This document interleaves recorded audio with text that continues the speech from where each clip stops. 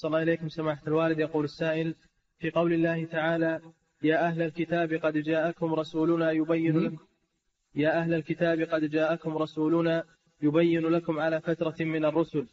يقول ما المراد بقوله فترة من الرسل؟ وهل أهل الجاهلية قبل بعثة النبي صلى الله عليه وسلم يسمون أهل الفترة؟ على فترة من الرسل أي مدة لم يبعث فيها نبي. وكانت قرابة ستمائة سنة بين عيسى عليه السلام آخر أنبياء بني إسرائيل وبين بعثة محمد صلى الله عليه وسلم. هذه الفترة ما جاءهم فيها نبي حتى اندرست الرسالات غيرت الكتب وانتشر الكفر.